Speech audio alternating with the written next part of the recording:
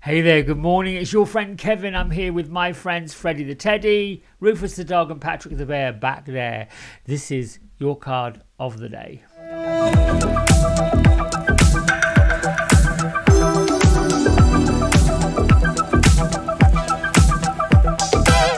And I should have reminded you all that today is Monday, the 8th of May 2023. I'm using Kyle Gray's Keepers of the Light Oracle deck with images by Lily Moses. Our Archangel of the Week that was chosen yesterday is the Chariot, um, featuring Archangel Metatron. And I really am getting quite perturbed by this camera's inability to focus on these cards. But there you go. Here we are. Got to focus. It's being a little bit difficult, but there you go. Um, Father in the sky, loving Mother of the earth, angels, ancestors from all realms and all beings in all areas of time and space of the light, thank you for revealing to us what your message is. I am willing to be your messenger. May this message be enlightening, inspiring, and be of value. So shall it be. Okay. Uh, where do I want to take though? I'm going to choose this one.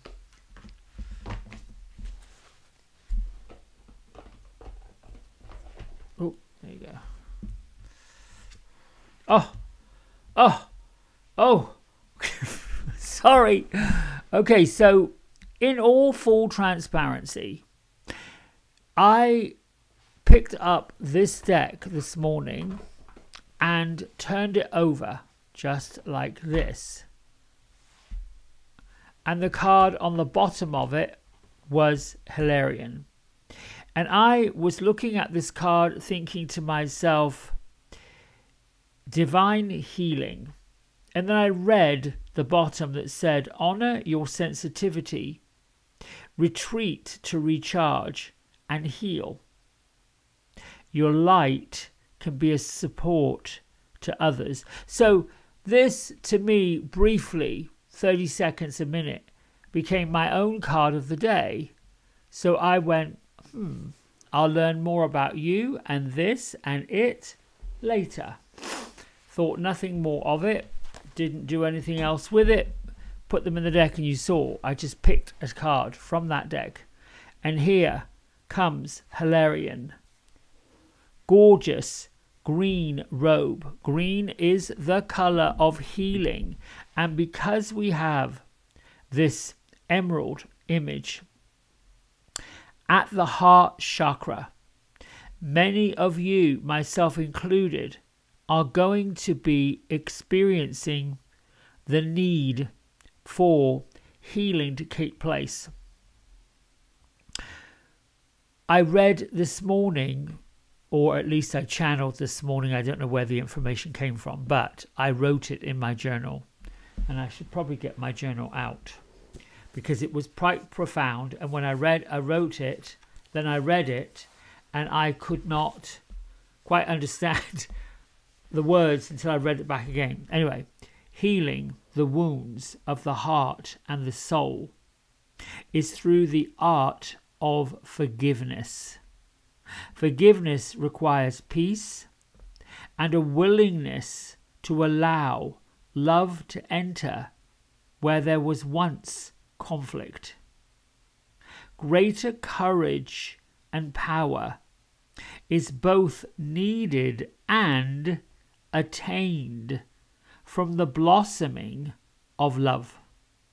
The greater capacity and flow of love that there is and exists, the more the love can heal and flow and eventually grow. And I gave thanks to God and to Spirit and to the angels and to all who brought me that message, not realizing I was going to figure out a way to share it with you. And now divine healing comes along and gives me the perfect vehicle to do this. Quite astonishing. And I'm still in like, well, that is amazing.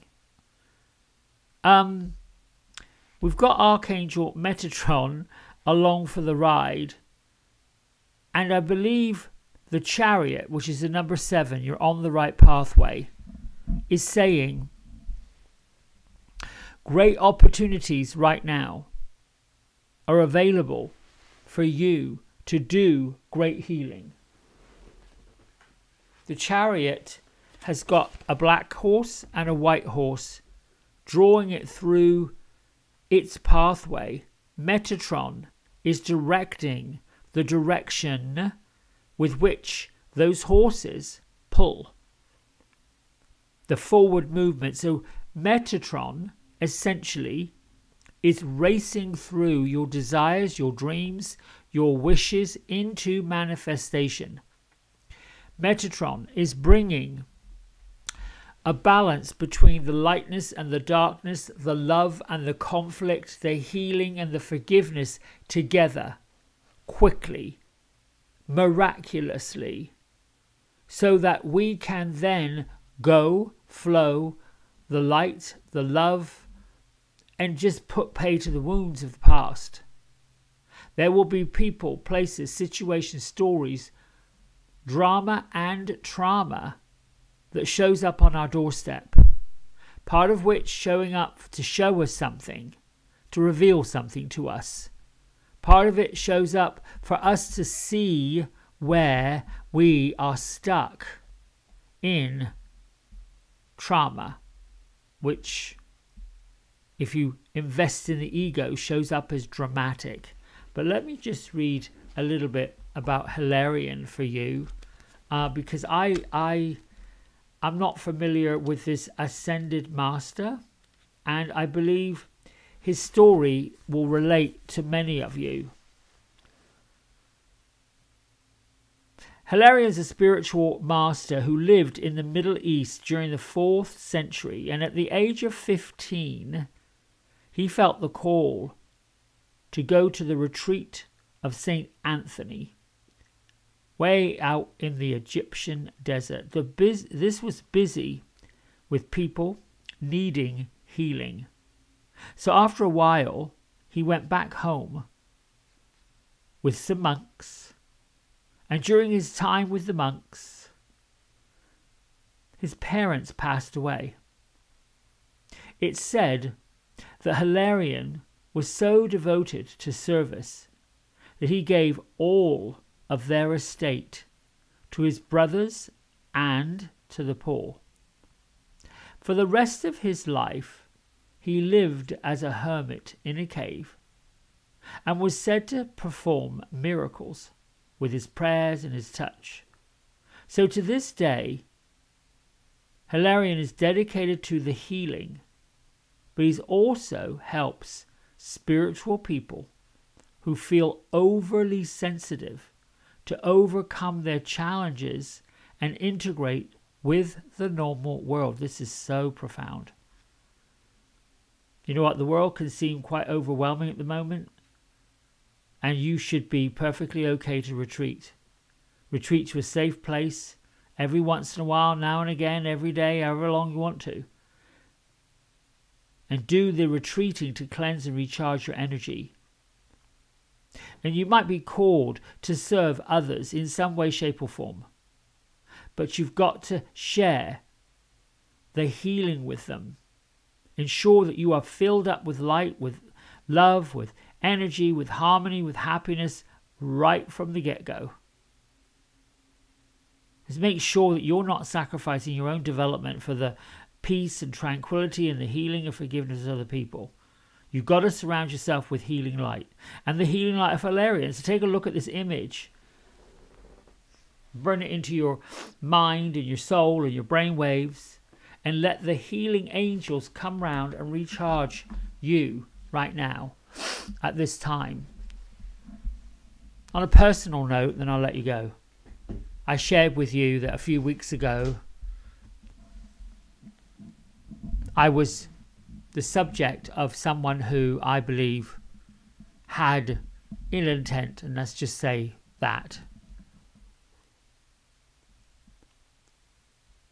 They've got back in touch. And I was at first a little bit nonplussed. as we would be in our human ways. And with peace, with retreating, with getting quiet, with quieting my mind, and asking my own self, my soul, my higher self, what is the lesson here? And maybe that's what came through this morning when I was sitting in meditation. That the healing of those wounds, the healings of what I felt, the healings of what happened, the feelings that went along with all of that will continue as long as there isn't any forgiveness. As long as there isn't any way to understand and to replenish those wounds with love. It's really difficult to do.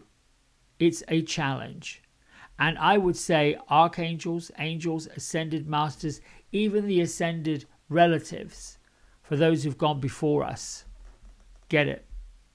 Every single individual that walk the earth, whether they are related to us or not, understands that journey and they understand the epiphany and the great release and the great relief that's had once love, harmony, happiness, and healing takes place. It is a release, it is a relief. There is no other greater feeling than that, and that's how the light comes in. But it's an art. It takes discipline, it takes patience, it takes power. And I will be one that says, I want to be of service. I want to be of great service to other people. Now, I'm not going to go live in a cave and, and, and, you know, I mean, I don't know. I don't think I would like that. Maybe I did it in a past life and it just didn't work. I don't know. but, but I am committed to working with light, to working with love, to working with healing, to working with truth. And I'm willing to share all my vulnerability, willing to share all of my, you know, not so great parts of my soul, myself, with others, just to show that we are human. And we have a human experience and those things require the balance between the capacity love with light and all the greatness that we have and the balance of being able to see that we got flaws that we're not infallible that we can have these not so great thoughts these not so great habits these not so great behaviors but then so doing that we also have to forgive the sins of others in order to really truly move forward somehow, some way.